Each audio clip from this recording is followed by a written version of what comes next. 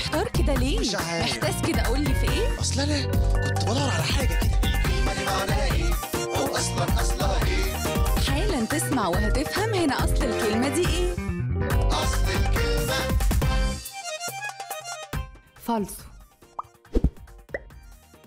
قالوا في المثل زمان الدهب زينة وخزينة والفالصو فالصو حتى لو كان ملو السفينة. طبعا كلنا عارفين إن المقصود بالفالصو هو الشيء التقليد أو المزيف. لكن يا ترى إيه هو أصل الفالصو الفالصو زي ما بتقول المصادر والمعاجم كلمة إيطالية دخلت لغتنا العربية من عشرات السنين وبقى بيتم استخدامها في وصف أي شيء غير حقيقي زي الأخلاق الفالصو والحب الفالصو وكمان الناس الفالصو اللي عبرت عنهم المطربة الشعبية أمينة في أغنيتها الشهيرة خلق فالصو واللي قالت عنهم